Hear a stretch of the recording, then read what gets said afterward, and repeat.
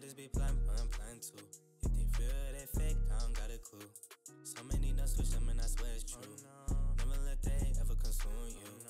They told me to give up and just start trying. Devil messing with my thoughts, man, I swear ain't lying. God said I'ma be a star, wait I start shining.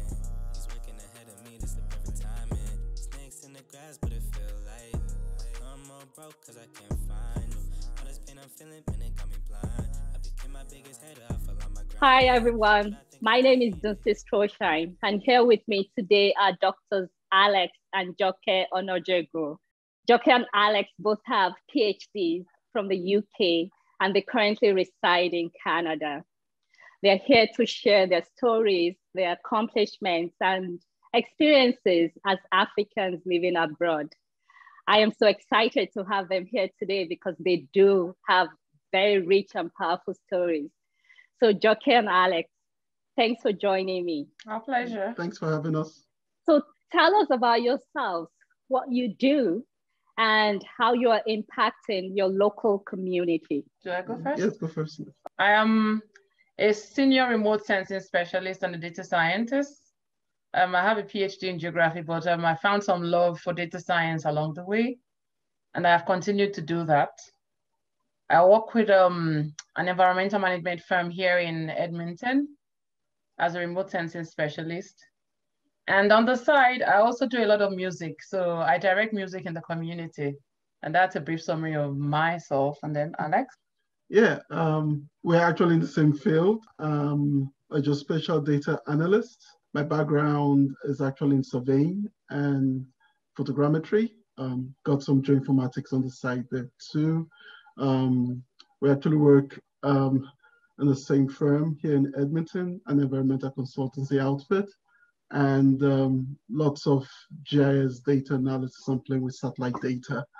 Um, in terms of um, background, um, yeah, that, that, I think that's about about it there. So, what's it like to work together and for both of you to have PhDs? That must be interesting. Oh boy, tell me about it. it's It fun. could be fun. Yeah, but um, I always tell people that um, she's my greatest critic, and um, yeah, we love to banter. So yeah, we've been working working together for quite a while. We actually started working together way back.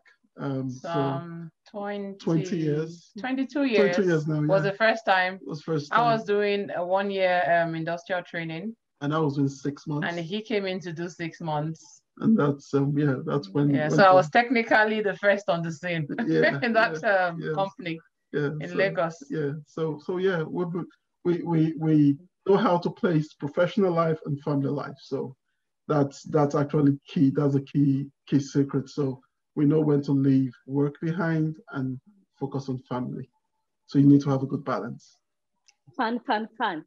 So, tell me uh, about any unique family history or background that otherwise we wouldn't know. Um, I come from a family of musicians. So the seven of us either sing or play. My brothers and myself play at least one musical instrument. And um, I'm also a descendant of the current um, ruling house in Lagos. How about Alex? oh my i, I don't think people know much about this but um, i'm actually from a royal family um, so my dad's my dad's um, a royal prince um, from in Delta State, and yeah, not many of my friends know that part about me. So yeah, I tend to put it under the under the bonnet if you know what I mean. Yeah. So, how long have you been in Canada and why did you decide to relocate to Canada? So uh, for me, anyone who knows me well knows that despite all the vices in Nigeria, I am one very proud Nigerian. I love being Nigerian. It comes with these challenges. And one of the challenges is that um, every time you fly with a green passport, you are randomly selected, very conveniently randomly selected, irrespective of the number of visa stamps from all the so-called high profile countries that you've been to. So it happened a few times. And um, one of the most embarrassing, they had me come up, did some patting around everywhere, told me to pull up my dress and all. And I felt so humiliated because I we had had the opportunity severally to decide we were not going back to Nigeria and we were moving on. My husband had always wanted to move. And I was like, ah, I prefer it in Nigeria. I really don't want all that racism thing going on. So those things, and then the fact that Canada has a very beautiful summer compared to the United Kingdom helped me decide that I would go with Alex's vision of migrating. yeah, I think I think um, I've always had um, a passion um, to actually relocate to Canada even before I met my wife. Um, and um, I think you get to a stage in life where you have to tell yourself the truth and accept things the way they are. Um, we were based in Nigeria in the past, after which we moved to the UK to study. And um, getting back to Nigeria and given the sort of profession we're in, we're into academia back in Nigeria, lecturing in university, you come with a renewed zeal and a passion. And unfortunately, sad, it's not appreciated. Um, you tend to make suggestions. Also, in the private sector, um, there are certain things that um, you don't expect to be the norm, um, but unfortunately, you're viewed like a misfit. I think that's the word. And yeah, it came to a point, and I said to myself, and we said as a, agreed as a family um, that there would be opportunities in looking for alternatives. And we spoke, we thought of Canada. We have family down here, and um, they actually wanted us to come. Yeah, so yeah. they were on our case for a yeah, long time, yeah, for years. Yeah, So we, we actually had a conference in the States.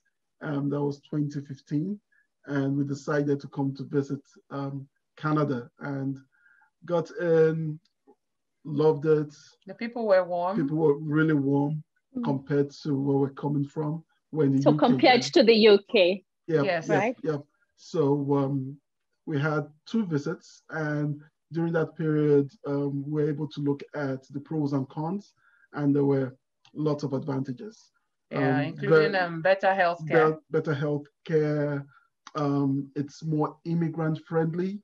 Um, there are lots of opportunities if you know what you're doing, um, and the people are very welcoming. So those were some of the key factors and drivers that actually you know made us to um, take that bold step to relocate to Canada, and also to think of the life of our children going forward.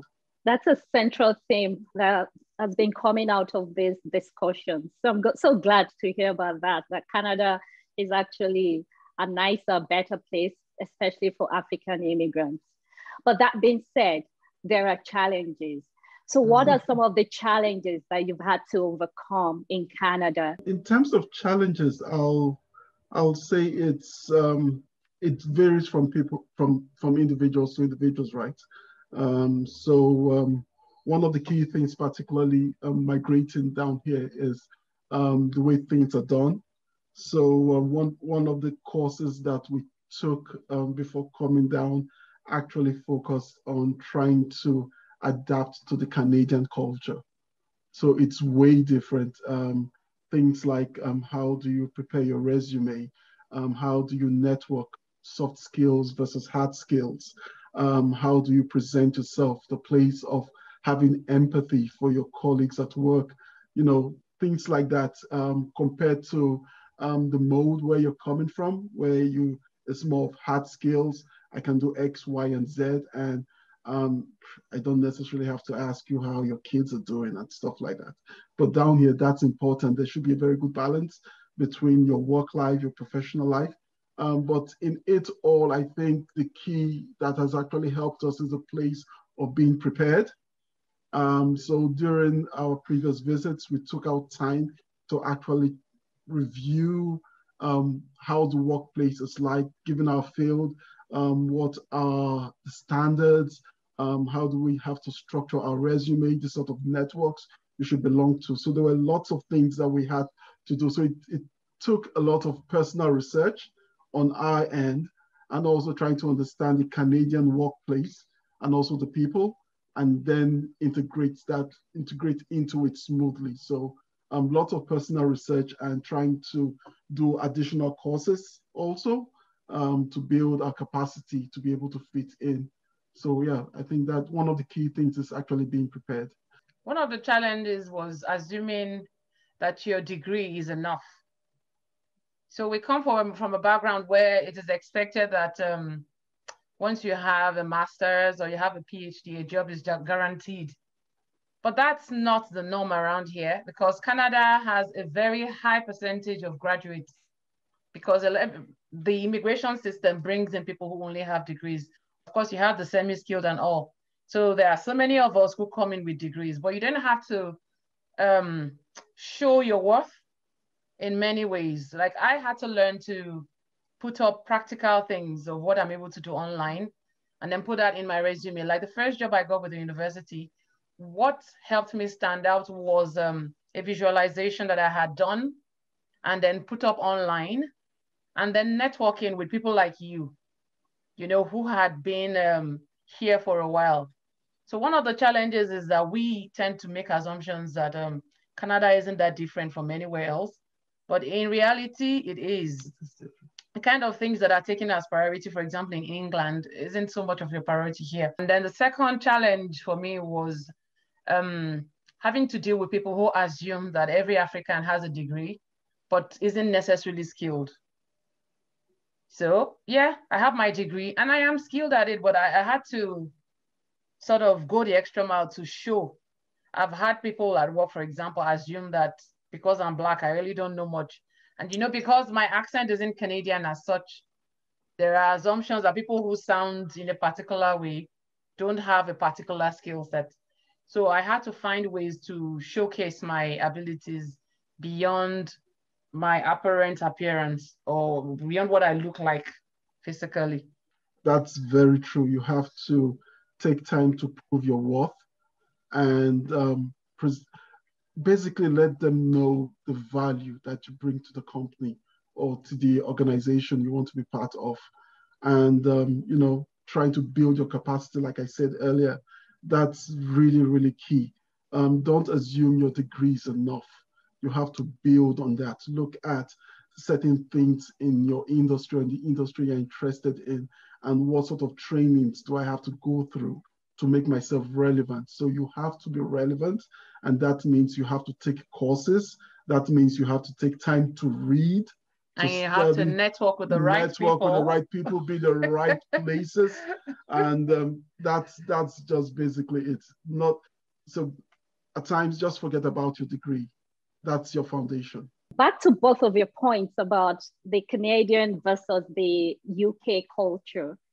Um, could you expand more on that? I can sense that you prefer the Canadian culture, but I'd like to learn more about the um, UK culture what are the things you like or you disliked about the UK culture? And what are the things you like about the Canadian culture or don't really like about the Canadian culture? That's um, that's a very sensitive topic. okay, so if you don't want to, that's fine. If no, you don't want to talk about it, it's good to, about, speak about, to speak about it. You know, uh, yeah. yeah. So like the British don't like you um, coming into their personal space. Hmm. You know, the fact that I said hi to you at work doesn't mean I'll see you in the market square and I have to say hi. Yep. Wow. But here in Canada, I don't have to go into a long discussion with you in the marketplace, but I could at least say, oh, hi, how are you doing? I hope you're having a good day. Okay, have a good one. See you on Monday at work. But in the UK, that, that's such a rare thing. And mm -hmm. it's not because they don't like you, it's just the, the way they are, you know? And we come from Nigeria where, ah, Ekaso, Yabisi, you know, we try to interact. Yeah, in fact, we do it, we overdo it in Nigeria sometimes. So for us, it was like a shock that we, we had to learn to mind our businesses outside the work environment. So we found Canada to be a hybrid of what Nigeria is and what England is. Yeah, and um, also also to add to that, um, I, I told a friend of mine some years back, and um, he he said to me, "So, um, yeah, you guys are moving to Canada." I said, "Yes." I said, "Why?" I said, "The truth is, unfortunately, the UK is not immigrant friendly." Yeah. Yeah, the system is such that it doesn't um, give immigrants that opportunity to, to right, do well, to do well in so certain in certain jobs. I'll give you an example. I did my postdoc in the in the UK, um, and um, there was an opening in another university. I'm not going to mention the name, and um, I got speaking to um, the principal investigator after some months of sending in my application, and she said to me, "Alex, unfortunately, um, I wish I could give you this position, but I can't. Reason being, you're not from the EU." Hmm. She said, You're qualified, you have everything I need, but unfortunately, you're not from the EU. And I thought to myself, I've been here for over 10 years, um, contributed so much, you know. Um, though we're students, my wife was studying then, I had done my own studies then. And I mean, so so I try to say that I don't have any value to add. And yeah, so basically it's not a very immigrant friendly sort of system. Um, others will beg to differ from what I've just said, but I, I had to tell myself the hard truth. And there were certain um, encounters I had even um, in some of the places I worked at. Nice people, but it's the system, the system itself. Thanks for sharing that. That's heavy, heavy to share. Yep, I know. But um, we've all been there. Mm. So we've all been there. What advice then do you have for newcomers to Canada? You need to come in here ready to learn, ready to work hard, and ready to give it everything it takes. So don't come with a mindset that you're coming to make money because the system isn't designed for you to make money. It's designed for you to be looked, looked after, but not necessarily to see the dollars floating in your bank account here and there. no, that doesn't happen abroad. So come with a mindset that you would have to do a lot to make yourself relevant. And don't wait until you come in. You start to prepare, immediately you decide you want to yeah. migrate. Start taking courses, start looking for people who have excelled, start looking at their profile, start looking at what they had to do to excel, not just the success stories, but how did they get there? What ropes did they have to climb? What courses did they do? Did they have to learn a second language to do well in your area of specialization? For example, if you're coming here to do customer service, Canada is a bilingual country. So to do well, you need to be able to speak both languages. Mm -hmm. Because if you're to do customer services, you could get calls from Quebec, but you're you reside in Alberta. So you stand better chances of getting a job if you can speak both languages, a customer service job, for example, than someone who speaks only English or only French.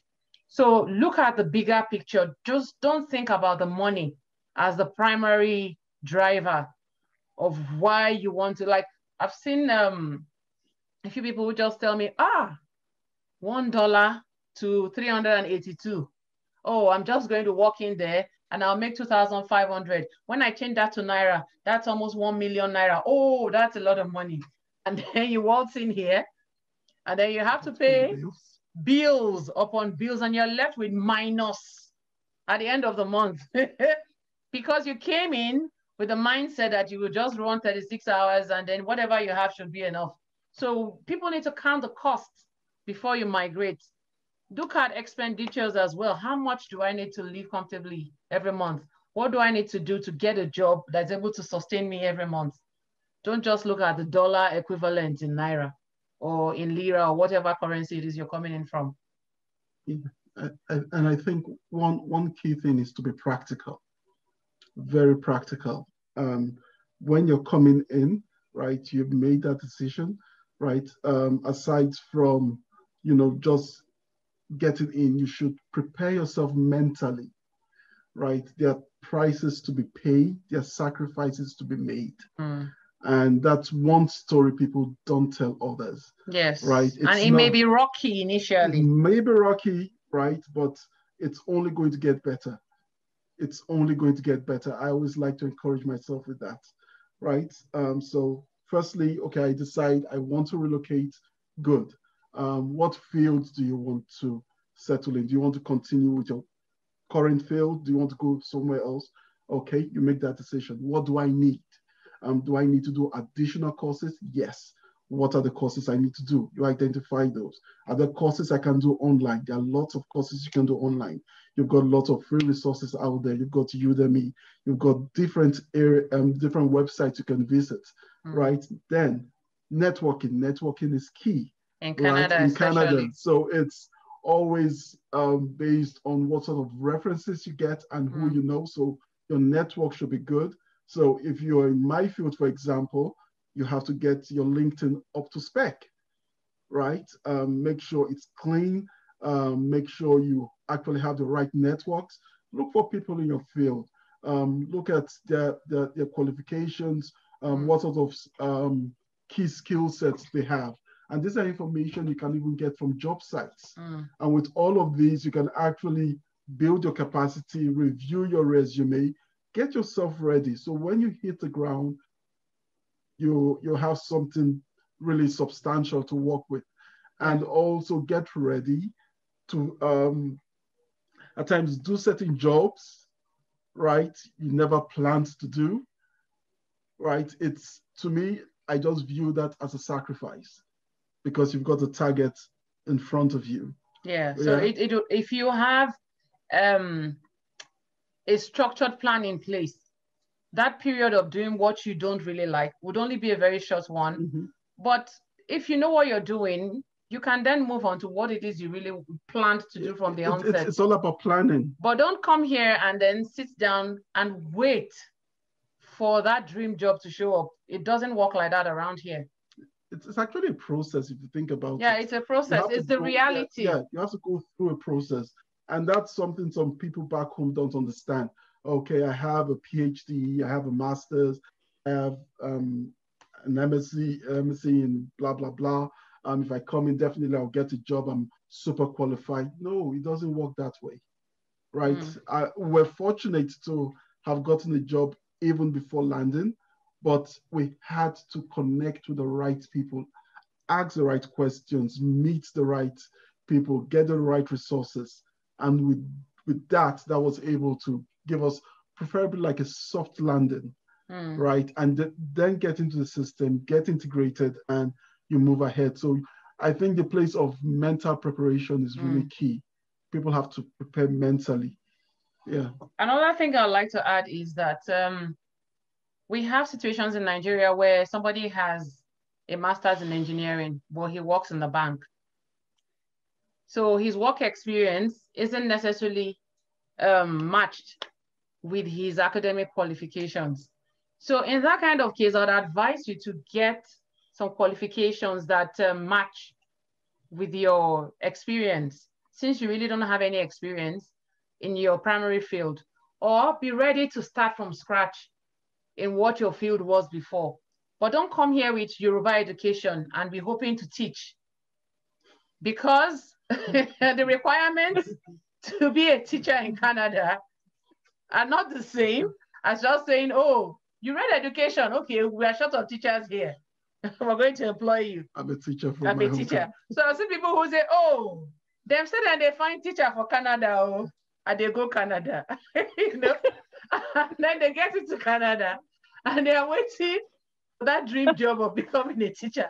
But it isn't like that. There are steps, there are qualifications. And some of know? these guys even have have the, the Canadian experience or the yeah. Canadian qualification yeah. you get a job. So like there are people who want to teach in Canada that don't realize that you actually need to get your teaching license from Nigeria and then they can give you an equivalence here. But if you don't have a teaching license from Nigeria, even if you have a degree in education, nobody's going to employ you to teach anything here in Canada. So make sure that you do your research and understand what it is you're coming here to do and what it will take to succeed in what you want to do. Don't make any assumptions. If not, assumptions will get you in serious trouble. So, in fairness to the Canadian government, I will say that there are a thousand and one resources that they have provided, mm-hmm. especially when they decide that they're picking you from the pool. You know, like they get you on the um the job, what's it called now? The job bank, job bank yeah. as well. So I'll say maybe they can do more to spread some of that information in other languages in a bid to present Canada as the best country in the world. they don't really tell the stories of people who had to work hard initially, like the rough journey, the first year when you're doubting if you made the right decision and all of that. I feel like they need to feature more of these stories in different languages so that people don't have the, the wrong notion about you just coming in and everything just works with you doing nothing. So they need to do more in pushing some of those realistic stories, not just, oh, I came to Canada and it's been so nice and I got a job in two weeks. But there are people who mm. didn't get jobs for three months, six months. So they need to tell those stories and then end it with the success of how they finally succeeded in the system. But they need to stop hiding some of the um, challenging aspects. Yes, the struggles of settling in. And I think, and I think that's why I love what Dunsi is doing because yeah. this is actually a very, it's a wonderful resource to showcase to showcase people's exactly. stories and their journeys, people's reality, the reality, and exactly. you know, not many people tell you the truth of what they go through. One of the most difficult questions I ask is: Have you ever been at the back end of implicit bias or unconscious bias or outright racism. So tell tell us about that, what that was like and what you did. Uh, that's that's um. Uh, I'll say one. The, yeah. Okay. The the here by virtue of my job, right? Um, I tend to work with different people from different um, different parts of the world, and one of the things I've learned to develop over time is having a tough skin and um, whether you like it or not, right? You're black. I'm African, right? And um, certain people tend to relate with you based on your skin color and not the qualities that you actually possess, right? And it can be quite difficult. And but um, in the midst of that, I think the place of um, having your self dignity intact, right, and being strong goes a long way. And reminding yourself that you have value, right? My value is not based on what you say, and being able to stand up for yourself when you need to. It can be difficult, but standing up for yourself when you need to. Um, I'll give an example. When when we're in the UK, I remember a church that we we um, actually fellowshipped with, and um, it's so funny. You get into the church, there are three different sections, don't see, right? There's a section for the British people that are white. There's a section for mixed races. There's a section for the blacks. An unconscious um, an, an unconscious divide. Selection. Oh, yes. divide, yeah. Right. And once you walk in, you look at the three, where do I belong? That's the first thing that comes to your mind. And you just go to where you see your fellow African brothers and sisters. And these are people you fellowship with. And after service, you meet them in the city center, right? Some of them just assume they don't know you from Adam. No, not they don't assume, they pretend. they don't know you from Adam. I mean, I, I've experienced it not once, not twice. My wife I think um, she'll tell you her experience in that in that angle. And um, if if you're not careful, you then have that conception that everyone around there is the same.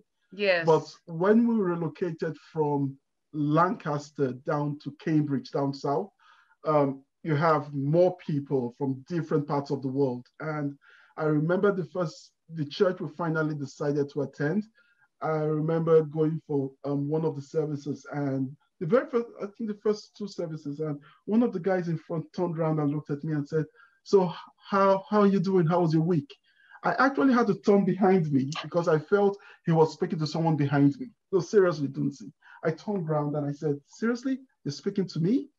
And that was how that, that was a level to which that got into. And um, if you're not careful, you then tend to feel everyone is the same. But being able to come out of it and remind yourself and give yourself that conscious reassurance that I am not what people think I am. Mm-hmm. And being mm-hmm. able to stand and speak is important. Yeah. Yeah. So in my own case, I'll, I'll speak about something different. I'm, I'll talk, to speak about um, a workplace experience. So the thing is, in the UK or in Canada? Oh, here in Canada, Canada. Here in Canada, one of the places I had worked. So um, I had worked there for three months at the time this young man came in. I had a BSc and thing, and you know, oh, I can use R. Oh, oh, I heard you are the one here that uses R. Oh, I'm sure I can uh, show you one or two things, you know, as the time goes on. And I smiled and I sat down and looked. And so there was a task to do. And um, he was asked to assist me because more or less like, uh, I don't know. And I had waited for that opportunity to help show him that I may be black, but mentally, I'm not different from any other professional in my field. You're brilliant, you're experienced and seasoned. yes. So what I did was um, I gave him the script. Okay, you go and write this bit of this script in R and let me know when you're done. And he brought back the script and he had uh, 3,000 lines. now, the thing with scripting is that you need to do some nesting sometimes to summarize the steps so that you can then work with loops. But because he had learned some basic script writing and didn't know all of that, so I told him, when you're free, let me know, and then I'll uh, go through this with you. And that was how I was able to show him that you don't make assumptions about Black people that they are empty headed and they just got the degree somewhere from the market or something. You know, so for me, that was how I dealt with it. I dealt with it by showing him professionally that look, I am no spring chicken. I've been doing this for many years.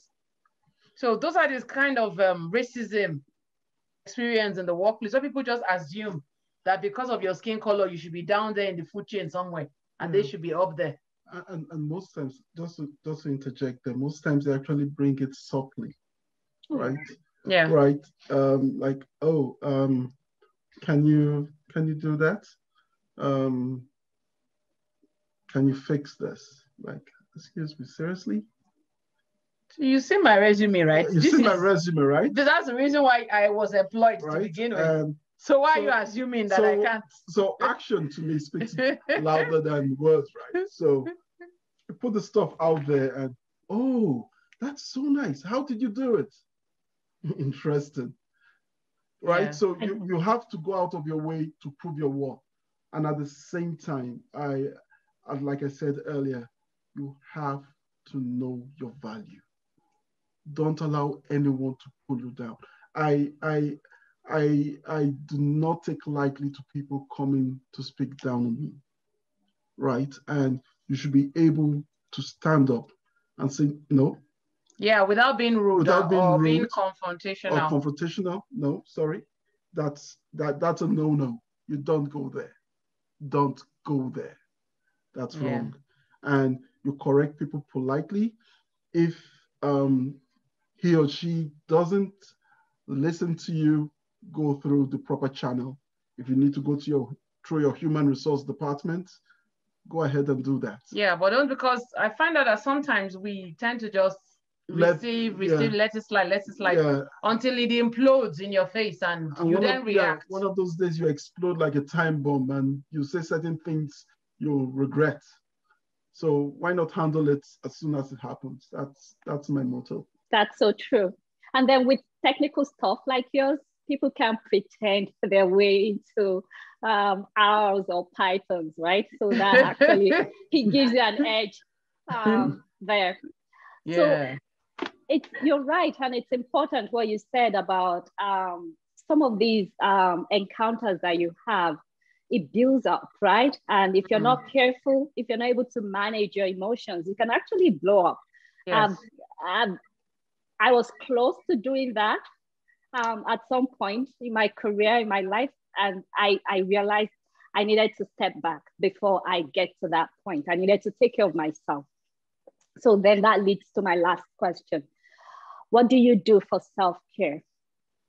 Because the Black community right now is suffering, um, mm. especially with this racism that we hear every day. Um, it's almost in your face now. Everybody's talking about it, everybody's writing about it.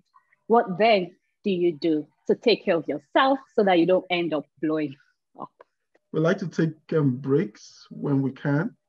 Um, and there, there, are little things you could do um, to take some time off and you know get the edge, the edge off. Um, a good example, like uh, was it yesterday, we decided to have our our weekly ops, weekly meeting, ops meeting on the on deck, the deck upstairs.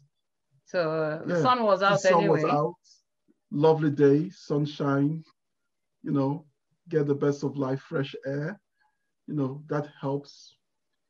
You know, and yeah. um, take lots of walks when you can. Yeah. Right. Yeah. And church has also been very good. Yeah. Yeah. So I also feel um mental self-care one of the things we've done is to connect with people who are like-minded mm-hmm. we may not be in each other's faces all the time but once in a while you know just having some of those discussions with people who are like-minded, like-minded. i'm not saying now that we just go randomly and associate with people people who are really like-minded because not everybody sees some of the challenges that you do so we do that and then also we like to drive around but COVID hasn't been fair, so we haven't really done that recently. But just yeah. explore your neighborhood, explore your environment. There's so much of beauty. I hope to get back to where we were before COVID, walking around and all. Mm-hmm. But we'd enjoy driving, change of scenery. I guess because our background is in surveying and geoinformatics. So in Nigeria, they would say Agbepol. You know, we're used to going around into rural areas. Yeah. So we're, we're cultivating that culture here in Canada as well and Canada is so lovely. When it yeah, there's so much to see in so Canada. Especially rural Alberta. Rural just, Alberta. Just, I love going there. Yeah, yeah. take a drive. Uh, and people are friendly, but now yeah. with COVID, you have to be careful. And another, well, physically, one thing I love to do is uh, recently I've been pulling him along. Just go for a good pedicure that comes with the massage. Sit down. yeah, I had, I had my first encounter. and it was actually nice. Yeah, it's it's soothing, it's relaxing, yeah. and distressing yeah. in its own way. Yeah. And another thing I have on the on the menu for the future when COVID goes away is the saunas. You know, go and get some steam and sweat like uh, you would not do in Canada normally. Wow, what wonderful, rich stories, Joke and Alex. Thank you so much for joining me and for being a part of this important project, really, for Africans living abroad.